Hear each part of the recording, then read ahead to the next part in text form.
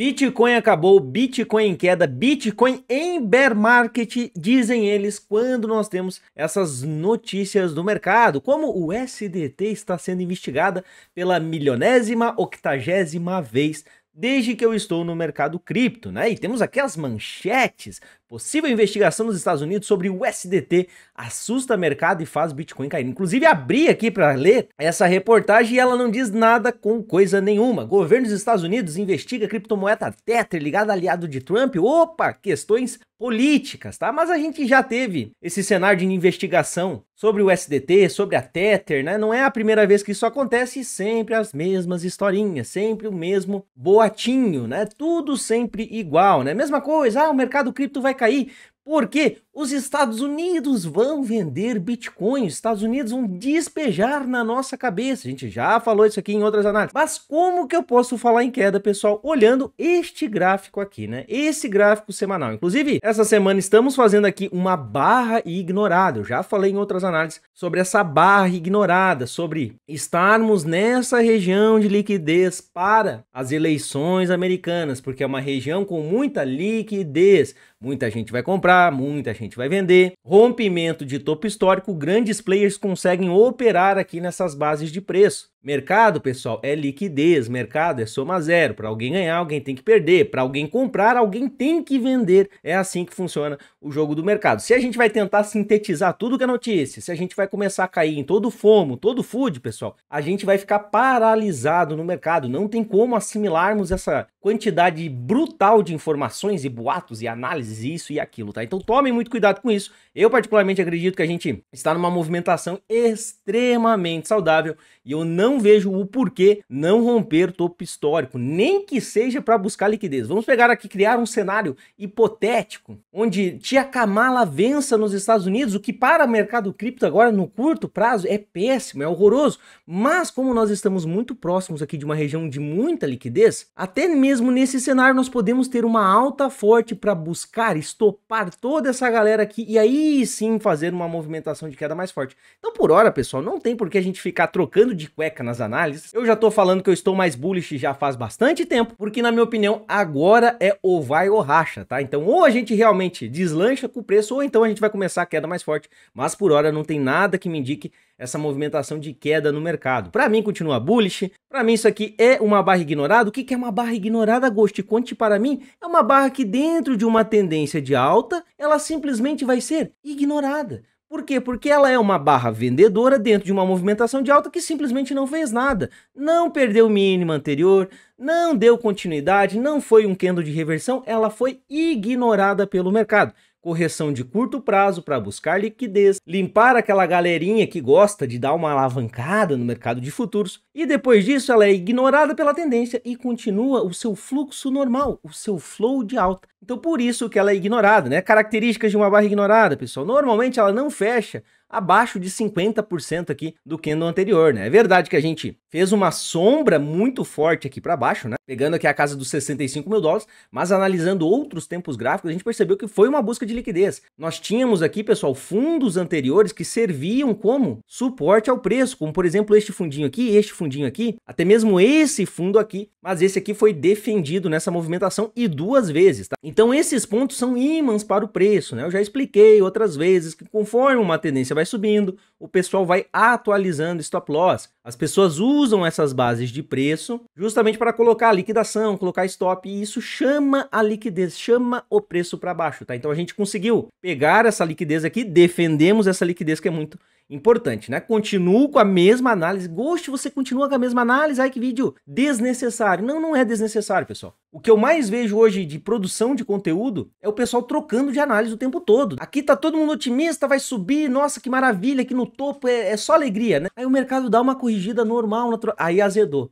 Não, realmente, veja pontos de reversão, porque isso, porque tomem cuidado, que se acontecer isso, o Bitcoin vai cair para 60, não sei mais o que. As pessoas criam na sua cabeça as ilusões também de que não, não, não vou comprar agora, que não tá errado, tá? Mas o seguinte pensamento, não, vou comprar agora porque o preço vai cair, o preço vai cair lá para 50 mil de novo. E quando chegar aqui nos 50 mil, aí eu vou encher o carrinho. Sabe o que vai acontecer se o preço chegar realmente aqui nos 50 mil novamente, pessoal? As pessoas que estão falando que quando chegar aqui vão encher o carrinho, elas não vão comprar. Elas vão ficar paralisadas no mercado, com medo de tudo, com medo de todos. Ah, porque eu vi o meu influencer favorito, tá com medo. Ah, porque as notícias, ai, porque aconteceu tal coisa, ai, porque o Fed, ai, porque o tio Jerry, ai, porque a Kamala, porque o Donald Trump, ai, meu Deus, não vou comprar Bitcoin. É sempre a mesma coisa. E aí não compram no fundo. Me diz como que você vai comprar barato se não for numa queda, pessoal, é contra-intuitivo, eu sei, mas é assim que as pessoas ganham dinheiro no mercado, comprando correções de movimento. Tá? Então, nesse momento aqui, não tem nada para se preocupar, continua na mesma movimentação. Essa semana nós vamos ter aqui um calendário recheado, tá? De informações que podem trazer volatilidade, começando na terça, confiança do consumidor. Não impacta muito no mercado cripto, mas é um dado sempre bem interessante sobre o aquecimento da economia americana, né? Temos o PIB na quarta-feira, temos aqui o PCE na quinta e temos o tio payroll, olha só, né? O payroll que na minha opinião são dados totalmente tirados da cabeça de um estagiário, né? Chuta um número entre 0 e 300. Aí o camarada chutou um número lá, eles colocam aqui no payroll, mas não vamos discutir sobre isso. Temos também taxa de desemprego nos Estados Unidos e PMI. Mas eu particularmente acredito que a pancada mesmo, pessoal, vai ser as eleições, né? Isso aqui pode trazer volatilidade para o preço, é normal, muitos vão começar a justificar um milhão de coisas e, e faz aquela narrativa, aquela análise fundamentalista barra vozes da minha cabeça, mas a verdade é que eu particularmente acredito que a pancada mesmo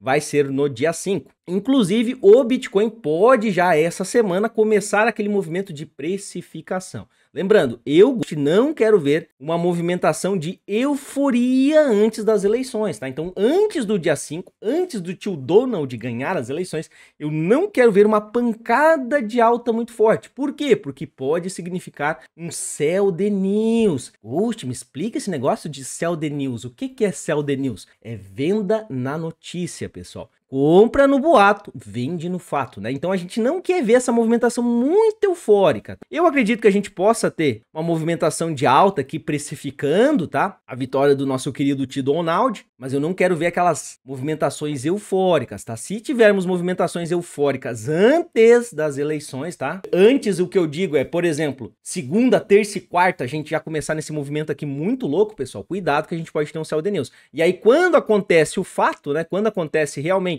nas eleições americanas a gente pode ter uma venda um pouco mais forte, né? Não acabaria com a tendência de alta, tá? Mas aqui no curto prazo talvez seja interessante realizar um pouco dos lucros aqui nessa movimentação e dá para reentrar mais barato, né? A gente aproveita para fazer um tradezinho no movimento. Mas isso aqui é um cenário supositório, tá? É supositório aqui que eu estou falando, mas vamos ficar de olho, tá? Movimentações de alta aqui, não muito fortes. A gente pode até romper topo histórico essa semana, antes das eleições, tá? Mas aí é, rompe o topo, dá uma voltadinha, né? Fica no movimento mais consolidado. Aí lá, sábado, domingo, segunda-feira, aí sim, se a gente tiver uma movimentação de alta mais forte, eu não vou considerar sendo um sell the news, tá? Mas vamos ficar de olho, qualquer coisa também eu vou passando a minha visão de mercado aqui para vocês no YouTube, tá? Olhando aqui tempos gráficos menores, 4 horas a gente já percebeu que a gente teve uma defesa muito forte aqui nessa região, tá? Inclusive agora isso aqui já virou uma base de preço um pouco mais consolidada, então o melhor stop ainda continua sendo aqui na base dos 62 mil dólares, já falei outras vezes, mas não custa repetir que foi o começo dessa impulsão mais forte de alta, tá? Então aqui foi smart money, né? O dinheiro inteligente, os grandes players que fizeram essa impulsão.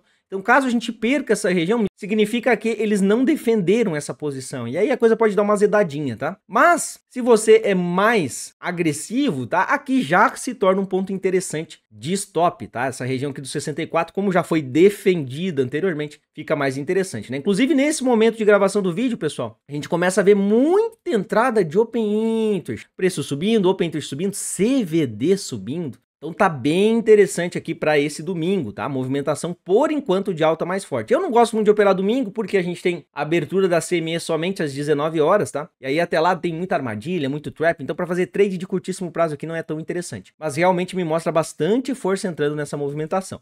Na parte de liquidez, pessoal, a gente percebe que no diário aqui, né, liquidez de futuros nas posições abertas de um dia, tá bem equilibrado. Mas se a gente passar aqui para os últimos sete dias, né, na última semana, novamente os ursinhos carinhosos estão com mais dinheiro aqui para ser liquidado, estão com mais dinheiro na mesa. Inclusive essa região de 70 mil, que anteriormente estava criando um gap aqui, né, um vácuo no preço, já começa a encher de ordenzinha. Então a gente percebe que o pessoal está dando uma shortada aí no mercado de futuros, o que pode ser muito benéfico, né? Lembrando que um short possui o seu stop ou a sua liquidação, a operação inversa, então ela é uma compra. Então, quando a gente estopa os vendidos, eles necessariamente criam mais liquidez, mais força compradora nessa movimentação de alta. E além disso, pessoal, estou de olho, tá? Estou de olho. O cenário, pessoal, o cenário ainda é do Bitcoin, o ciclo eu ainda acredito que seja somente do BTC, mas eu estou de olho em altos também. Por quê? Porque até aquele youtuber mais otimista mais esperançoso, mais bullish sobre a altseason e altcoins já começa a capitular. Já tem muita gente aí largando de mão as altcoins, tá? E é nesse momento que a gente pode ter alguns repiques, né? Muitas altcoins estão afundadaças, e na questão de risco-retorno já começa a ficar interessante, né? Exemplo, tá? Exemplos aqui para passar para vocês. Nós temos a nossa queridinha Dog. Olha só como o Dog tá bonitinha no 4 horas, fazer um tradezinho, hum, tá legal, tá interessante. Nós temos aqui a nossa querida MKR, né? O case de sucesso do Tio Ghost. Inclusive comprei MKR, passei nos membros, né? Chegou aqui nessa região dos mil dólares, que é um número psicológico, defesa. A gente percebeu que a gente teve realmente aqui uma pressão de compra nessa região. E por que disso, pessoal? Olha o gráfico semanal de MKR. Tá? Eventualmente isso aqui tende a repicar, tá? Não é certeza, que não existe certeza no mercado, mas eventualmente isso tende a fazer um repique. E nesses repiques a gente pode ter valorizações aqui muito altas, né? Aquilo que eu falo. Olhando aqui de baixo, pessoal, ninguém quer comprar aqui, né? Mas quando o preço sobe, aí todo mundo diz, ah, aqui realmente é um excelente ponto de entrada, mas ninguém tem coragem de comprar aqui. Então, esse que é o ponto todo, né? Inclusive, eu já tinha uma posição em MKR, né? Preço de entrada mais ou menos 1.370, o Ghost estava amargando aqui um prejuízo de quase 30% e na região aqui dos mil dólares eu comprei novamente, né? Fiz o nosso querido DCA. E esse preço aqui de entrada de 1.360 já caiu aqui para 1.170, 1180, não sei exatamente, tá? Mas já estamos aqui muito próximo do nosso 0 a 0. Então, tendo estratégia no mercado, tendo caixa, eu falo muito para vocês, tem que ter caixa no mercado. Não ficar saindo dando all-in ou qualquer quedinha aqui já sai comprando. Não, faça com regiões de preço interessante. Caiu 30, 40, 50%, aí você compra novamente. Não sai comprando cada correçãozinha que dá no spot que isso aqui traz problemas, tá? Então, por exemplo, MKR, eventualmente pode dar um repique, mas gosto, o projeto é ruim, que fez isso, que fez aquilo. Não me interessa, tá barato visto que em abril deste ano ela chegou a 4 mil dólares, né? Então tem a oportunidade de comprar mil, né? É o exemplo da gasolina que eu sempre passo para vocês, né? Se tá 20 reais, ninguém quer comprar hoje, né? Mas se chegar a 20 e voltar para 15, você vai no posto encher seu tanque. Então é esse é o pensamento. Então tem, temos várias opções dessa no mercado. Então eu estou de olho em altes também, tá pessoal? Não é nenhuma recomendação você sair dando a win, até porque é um momento bem delicado. Alts eu só considero para trade, trade, não vai fazer hold, você vai ficar preso muitas moedas, você não vai saber fazer um bom DCA, um bom gerenciamento, uma boa estratégia, uma boa retirada de exposição principalmente se você é novo no mercado, então a chance de você tomar um fumo muito grande aqui em altos é complicado, mas para quem já tem um pouquinho mais de experiência, trade, poxa, tá interessante as altas tão bem afundadas. E é aquilo que eu falo, se a gente romper o topo histórico do BTC, a gente pode ter repiques em muitas delas. Não estou dizendo que vai chegar novo topo histórico de altcoins, all time high, não, nada disso, tá? Mas qualquer repique aqui já tá muito interessante. Mesmo que você não faça 20x, que nem muitos estão prometendo, poxa, mas fez 50% de lucro, meu amigo, é 5 anos na renda fixa para você fazer 5% de retorno no capital, tá? Então tá interessante. E é aquilo, pessoal, você não vai esperar, por exemplo, a dominância do BTC desabar para daí você entrar, daí já é o final da festa das altcoins, né? Então é quando realmente a dominância está muito alta, como é agora, né? Muitos usam a dominância do BTC para tomar essas decisões, é que a gente começa a olhar. Não precisa dar win, tem que ter gerenciamento. Eu sempre deixo bem claro aqui, mas realmente eu estou de olho em alts, né? Principalmente position, swing trade, tá interessante, né? Lucros mais rápidos, né? Operações de trade mais curtas. Mas por hora, pessoal, mantenha o foco, mantenha a consistência, cuidado com esses recursos de curto prazo para você não cair no food da galera, né? O pessoal fica desesperado. É impressionante, né? A criação de conteúdo é muito do momento, muito do hype, né? Mantenha o foco, mantenha a estratégia, não fique trocando de análise que nem você troca de cueca.